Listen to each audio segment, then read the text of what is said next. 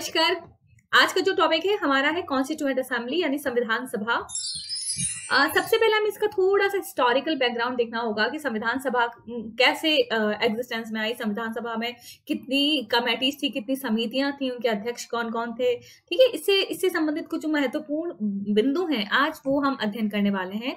तो historical origin of the constituent assembly is link with the growth of the national movement in India The Constitution of India itself is the product of our freedom struggle. Whose goal was to attain nation's independence. Okay, so Bharat की जो संविधान सभा है उसका जो मूल object था वो क्या था? कि जो हमारा जो फ्रीडम स्ट्रगल है उससे कहीं ना कहीं जुड़ा हुआ था। हमारे जितने भी राष्ट्रीय आंदोलन थे जो भारत को ब्रिटिशर्स से स्वतंत्र कराने के लिए चल रहे थे उन सभी का इसमें काफ़ी योगदान था।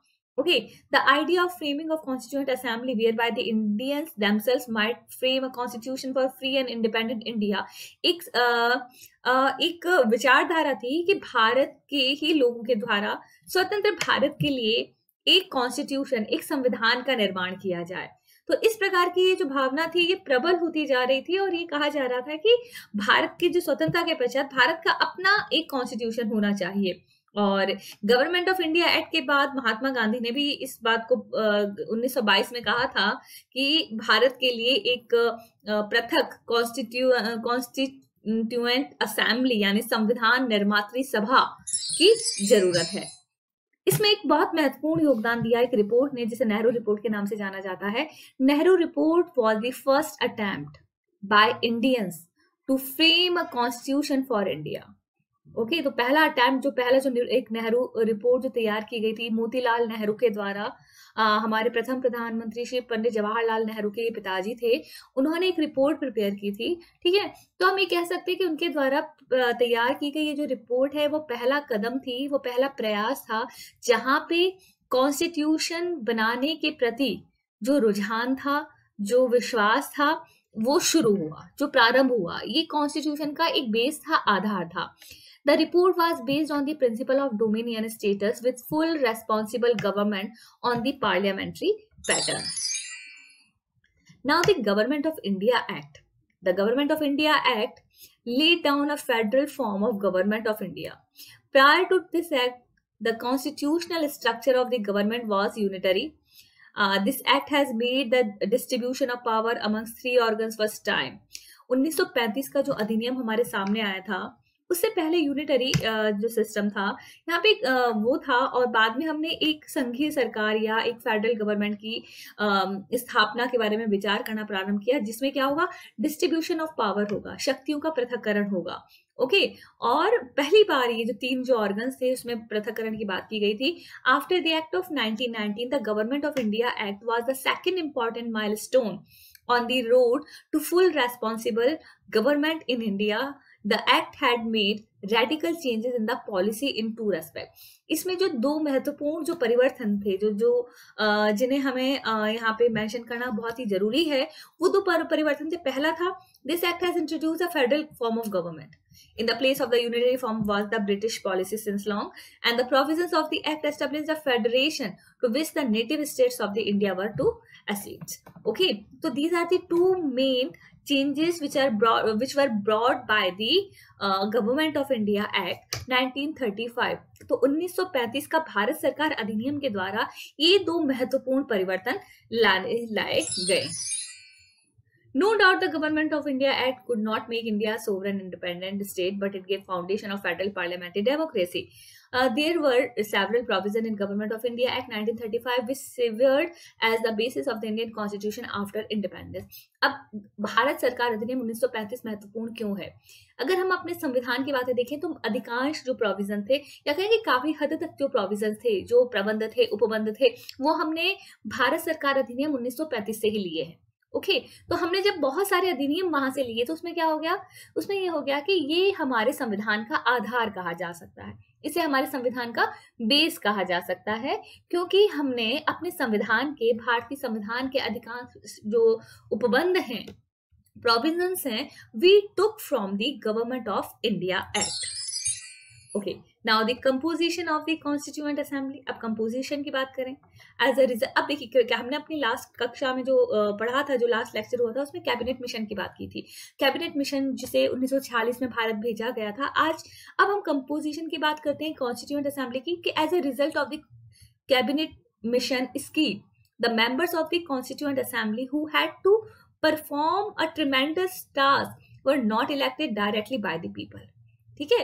कॉन्स्टिट्यूंट असेंबली के जो सदस्य थे, उन्हें सीधा नियुक्त नहीं किया गया, सीधा चुना नहीं गया। There were two types of the member elected and nominated अगर हम कॉन्स्टिट्यूंट असेंबली यानी संविधान निर्वाचनी सभा के अगर सदस्यों की बात करते हैं तो उन्हें दो तरीके से चुना गया था। पहले थे निर्वाचित सदस्य इलेक्टेड मेंबर्स दूसरे थे नॉमिनेट ठीक है? नामांकित सदस्य, ठीक है? जिन्हें नामित किया गया था। The provincial legislative assemblies were empower to elect members for the Constituent Assembly, while the representative from the Indian state were nominated by their respective rulers. Okay. However, it was a Congress dominated body. अब देखा जाए तो अगर वास्तविकता में अगर देखा जाए तो ये क्या थी ये जो कॉन्स्टिट्यूंट असेंबली थी it was Congress dominated body ठीक है because it was Congress which has majority in the provincial legislature has the assembly had no viable opposition opposition यहाँ पे बहुत ज़्यादा स्ट्रांग नहीं था। Though the assembly had no directly elected representative because the existing situation did not permit to go for election okay the members present in it were the people of wisdom and assembly represented almost all shades of public opinion comprising over thirty schedule members okay The Constituent Assembly also included sections of Christians, Anglo Indians अब हम कह रहे हैं ना कि वहाँ उसमें हमारे कुछ नॉमिनेटेड मेंबर्स भी थे। उनमें प्रॉपर रिप्रेजेंटेशन था। कहाँ कहाँ से किन सेक्शंस में से किन खंडों से रिप्रेजेंटेशन था? प्रतिनिधित्व था Christians Anglo Indians minority community each and every section of the people was conscious to place their viewpoint before the constituent assembly and to see and ensure that their interests had nicely been protected okay, तो इन्होंने यही किया कि जो अधिकांश जो उनका जो हित था हर कम्युनिटी uh, के लोगों का प्रतिनिधित्व प्रतिनिधित्व हमारी संविधान निर्मात्री सभा में रहा है और इसका uh, परिवर्तन क्या रहा है उसका उसका बेसिक रीजन क्या था कि हर हर जो कम्युनिटी है, वो चाहती थी कि उनके जो इंटरेस्ट है, उनके जो हित हैं, उनको संरक्षित रखा जाए। ओके तो अब देखें फॉर एग्ज़ाम्पल अब हम देखते हैं, हरिंदर कुमार मुखर्जी। हरिंदर कुमार मुखर्जी कौन थे? Being the minority community chairman he was the minority community chairman also successful work for the Christians while H Modi he was the representative of the Parsi community okay Parsi community के थे H P Modi Harinder Kumar Mukherjee थे minority के and Frank Anthony lead to the Anglo Indian section of the country in the constituent assembly woman also participated in constituent assembly and some of the prominent female personalities of the assembly were Vijayalakshmi Pandit Sarojini Naidu The first meeting of the Constituent Assembly was held on December 1946 in the Constitution hall, which is now known as the central hall of the parliament house, while india was still under british rule. Okay तो अलग अलग तबकों का भी यहाँ पे प्रतिनिधित्व था। महिलाओं का प्रतिनिधित्व देखा जाए तो विजय लक्ष्मी पंडित और सरोजिनी नायडू के रूप में था और 1946 दिसंबर में इसकी पहली जो सभा थी वो आयोजित की गई थी। आयोजित की गई थी ये कॉन्स्टिट्यूशनल हॉल संविधान हॉल में इसका गठन किया गया था, ये आयोजित की गई थी और जिसे अब सेंट्रल हॉल के नाम से जाना जाता है।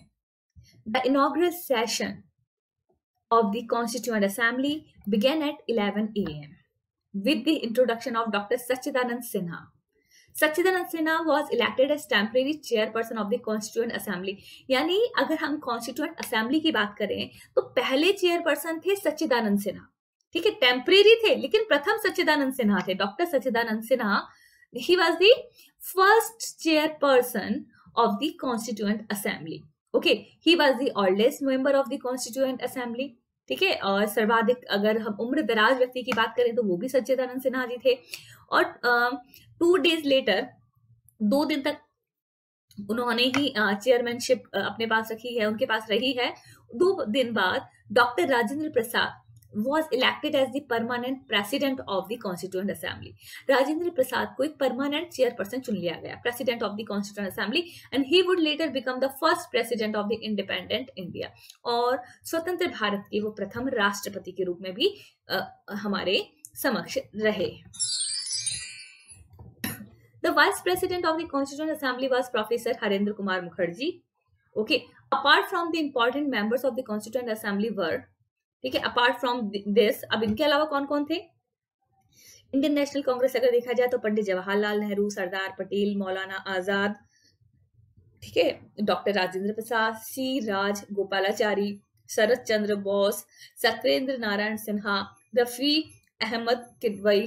तो ये जो लोग थे इंडियन नेशनल कांग्रेस के ये जो प्रमुख लोग थे, ये भी कॉन्स्टिट्यूएंट असेंबली के सदस्य रहे हैं। The Constituent Assembly was set up under the Cabinet Mission Plan of 16th May 1946. The members were elected by the provincial assemblies by the method of the single transferable vote system on the proportional representation. Okay, the Constituent Assembly met for time on 9th December 1946 in the library of the council chamber delhi and 205 members attended the meet the league representative and nominee of the princely state abstained on 11 december the assembly elected dr rajendra prasad as its permanent president okay okay? तो ये एक general से outline है इसका historical की कौन लोग थे कितने लोग प्रेजेंट हुए अब हम बात करते हैं composition of the constituent assembly प्रारंभ में अगर देखा जाए तो the number of member were 389 तीन सौ नवासी जो लोग थे, वो यहाँ थे 389 total after partition some of the members went to Pakistan जब भारत और पाकिस्तान का बंटवारा हो गया आफ्टर द इंडिपेंडेंस एक्ट तो कुछ लोग थे वो पाकिस्तान चले गए। And the number came down to two ninety nine अब कितने बचे? दो सौ निन्यानवे।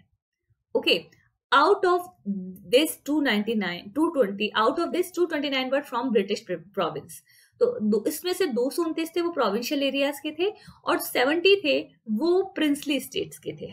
Okay doctor Sachidanand Sinha was the first temporary chairperson of the constituent assembly and later doctor Rajendra Prasad was elected as the president and vice president was Harendra Kumar Mukherjee B N Rau was the constitutional adviser okay तो ये महत्वपूर्ण पद है, ये जो परीक्षा में पूछे जाते हैं, प्रथम सचिदानंद सिन्हा ठीक है परमानेंट प्रथम राजेंद्र प्रसाद और द्वितीय भी Rajendra Prasad.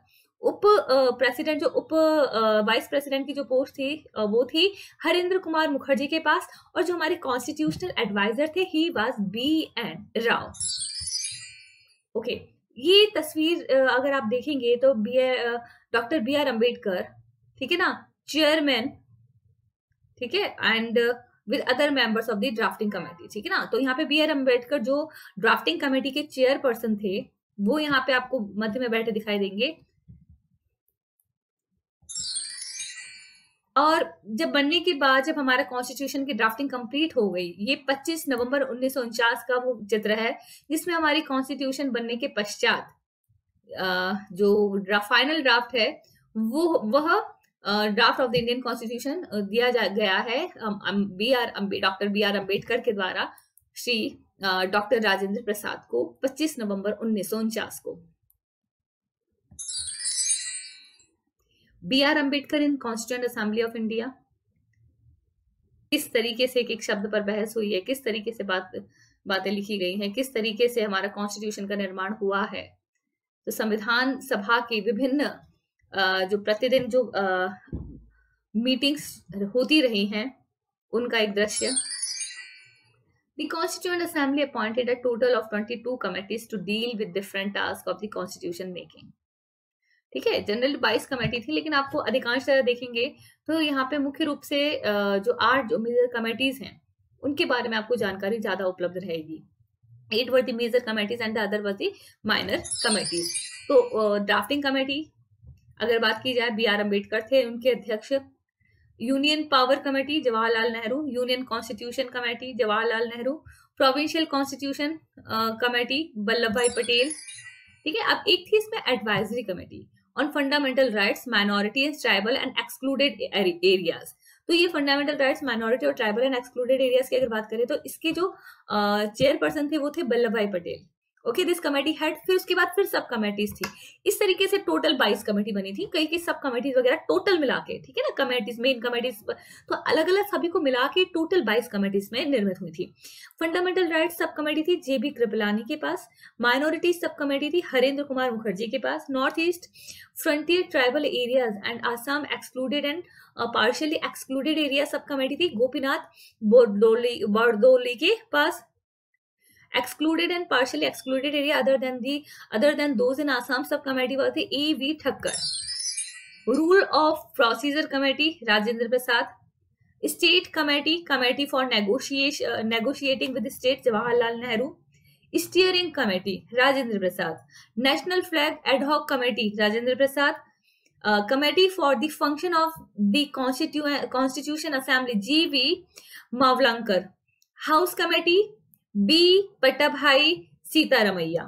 Language committee Moturi Satyanarayana order of business committee K M Munshi okay तो ये मुख्य कमेटीज थी कॉन्स्टिट्यूशन कॉन्स्टिट्यूंट असेंबली की। अब अगर टाइमलाइन की बात की जाए कि कब कब क्या क्या हुआ तो उसमें 6 दिसंबर 1946 को मतलब 6 दिसंबर 1946 को formation of the constituent assembly in accordance with the French practice ठीक है तो पहली पहली जो हमारी कॉन्स्टिट्यूंस असेंबली का जो का जो निर्माण हुआ, वो हुआ है छह दिसंबर को। पहली मीटिंग हुई है नौ दिसंबर को। तो नाइन दिसंबर को क्या हुआ है 1946 को the first meeting was held in the constitution hall now the central hall of the parliament house the first person of to address was J B Kripalani ठीक है? And Sachchidanand Sinha become temporary president demanding a separate state the Muslim League boycott the meeting ठीक है, एक separate state की मांग करते हुए जो मुस्लिम लीग थी, उसने इस मीटिंग को बायकट किया है। इलेवन दिसंबर 1946 the assembly appointed Rajendra Prasad as its president high court sorry sorry High H.C. Mukherjee as its vice chairperson and B.N. Rao as the constitutional legal advisor. There were initially 389 members in total and which were declined 299 और 299 में से भी क्या वो out of 389 299 were from the government province, four from the chief commissioner province and 93 from the princely state. तो यहाँ पे कुछ इसमें कुछ लोग थे कहाँ कहाँ से इनका डिवीज़न हुआ था इस तरीके से हम देख सकते हैं अब है थर्टीन दिसंबर 1940 अब देखिए छह नौ ग्यारह तेरह तेरह दिसंबर को क्या हुआ? An objective resolution was presented by Jawaharlal Nehru laying down the underlying principle of the constitution okay and this later become the preamble of the constitution okay तो अब ये देखिएगा, एक ऑब्जेक्टिव रेजोल्यूशन था। और 22 जनवरी को 1947 को objective resolution okay unanimously adopted 22 जुलाई को नेशनल फ्लैग वॉज़ अडॉप्टेड 15 अगस्त उन्नीस को achieve independence India split into two dominions India and Pakistan 29 अगस्त को drafting committee appointed B R Ambedkar chairperson 29 अगस्त को बी आर अंबेडकर को ड्राफ्टिंग कमेटी का चेयरपर्सन अपॉइंट किया गया the other six members of the committee were Munshi Mohammad Saadulla and Alladi Krishnaswami Ayyar and Gopalaswami Ayyangar and Khaitan and Mitter and sixteen जुलाई उन्नीस सौ अड़तालीस को अगर बात की जाए तो along with Harendra Kumar Mukherjee B T Krishnachari Krishnamachari was also elected as the second vice president of the constituent assembly 26 नवंबर उन्नीस सौ उनचास को the constitution of India was passed and adopted by the assembly 24th जनवरी 1950 को last meeting of the constituent assembly Uh, the constitution was signed and accepted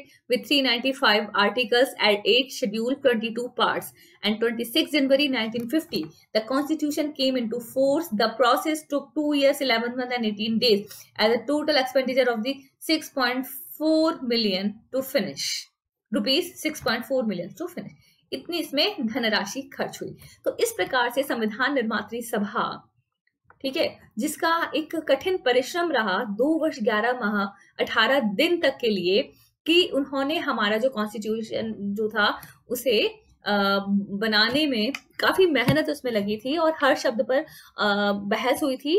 तो जो constituent assembly जो डिबेट्स हैं, वो भी अवेलेबल हैं। आपको आप, उनके थ्रू भी आप जा सकते हैं। तो अभी ये आपको याद रखना होगा 26 नवंबर को हमारा जो कॉन्स्टिट्यूशन है वो पास हो गया था और अडॉप्ट हो गया था। और डेट ऑफ़ कमेंसमेंट वाज 26 जनवरी 1950 तो 26 नवंबर को हम संविधान दिवस के रूप में uh, मनाते हैं। उसका यही कारण है कि 26 तारीख को हमारा संविधान मिलकर तैयार हो गया था। लेकिन 24 जनवरी 1950 को इसकी अंतिम बैठक हुई थी जिसमें से साइन किया गया था। और अंतिम रूप से तीन सौ पचानवे आर्टिकल आठ शेड्यूल और 22 पार्ट्स के साथ हमने कॉन्स्टिट्यूशन को एक्सेप्ट किया था। ओके तो दो वर्ष ग्यारह माह अठारह दिन के अथक प्रयास के बाद we are having our constitution as the supreme law of the country there is no one above our constitution तो भारत में क्यों the power uh, which is provided which is given in the constitution it is vested in in the people we the people of india okay okay? तो इसी के साथ हम अपनी अगली क्लास में इससे आगे के जो प्रोविजंस हैं हम उनका अध्ययन करेंगे थैंक यू सो मच